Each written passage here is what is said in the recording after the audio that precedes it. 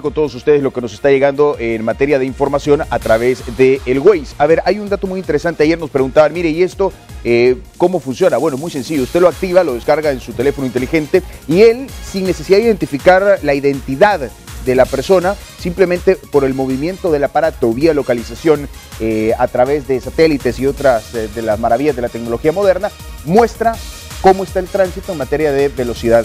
Por ejemplo, acá, y ojalá que se logre apreciar bien, esto que ve usted en este color naranja es básicamente el Boulevard San Bartolo, que se encuentra a esta hora un poco congestionado, y cuando digo poco significa que la velocidad promedio a la que usted se mueve es 19 kilómetros. Y más adelante, aquí cuando comienza el Boulevard del Ejército, la cosa se comienza a complicar un poco más. Más carga vehicular, estamos hablando a una velocidad promedio de 30 kilómetros por todo el Boulevard del Ejército eh, de pasar por cárcel de mujeres, sigue usted hasta la unidad de salud de Ilopango. De la unidad de salud de Ilopango en adelante, pasando por el empalme de la calle La Unión y por el lugar eh, del ejército, siguiendo por Puma Morazán, Fuden Soyapango, eh, Plantosa, la Fabril, la Texaco Boulevard, Walmart y otras más, todo eso está con un tránsito que se va intensificando pero que todavía no llega a convertirse en un verdadero problema. Vuelve a ser problema a la altura de Amanco y de ahí hasta la 54 Avenida Sur, siempre sobre el Boulevard del Ejército en el empalme con estas arterias. Así están las cosas a esta hora de la mañana,